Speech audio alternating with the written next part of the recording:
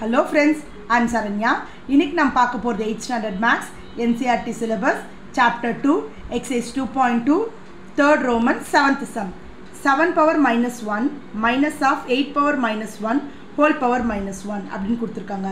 Minus three power minus one minus four power minus one whole power ஒன்னுன்னு கொடுத்துருக்காங்க.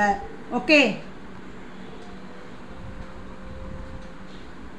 Whole power minus ஒன்னு கொடுத்துருக்காங்க so one by seven minus one by eight எப்படி one by seven one by eight எழுதுவோம் any value power minus one இருந்துச்சுன்னா one by எழுதுவோம்ல one by seven minus one by eight whole power minus one minus one by three அதே மாதிரி any value power minus ஒன்னா one by three minus one by four whole power minus one so இப்போ நம்ம என்ன பண்ணோம் LCM எடுக்கணும் LCM எடுத்தால் seven எயிட்ஸா fifty six ஏன்னா நம்ம சேம் டேபிளில் போக டேட்டா மல்டிப்ளை பண்ணிக்கிறோம். அப்போ எயிட் இங்கே வந்துச்சுன்னா one eight sir eight seven இங்கே வந்துச்சுன்னா one seven sir seven whole power minus one minus அதே மாதிரி த்ரீயும் ஃபோரும் ஒரே டேபிளில் போகாது.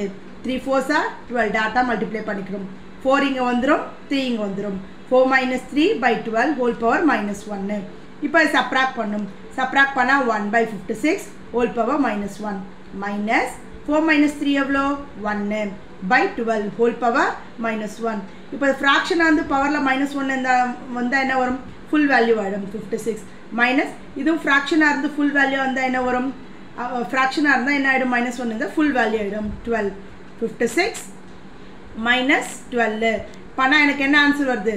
ஃபார்ட்டி ஃபோரு அவ்வளோதான் இங்கே ஒன்றுமே இல்லை. அந்த பவர் ரூலில் யூஸ் பண்ணியிருக்கோம் எல்சிஎம் எடுத்திருக்கோம். சால்வ் பண்ணியிருக்கோம் கிளியர் தேங்க்யூ